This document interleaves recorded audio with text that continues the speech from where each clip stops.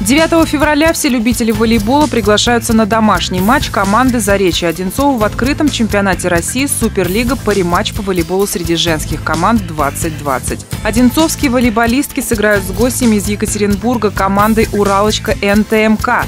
Встреча обещает быть интересной. Приходите в волейбольный центр поддержать «Заречье». Начало матча в 18.00.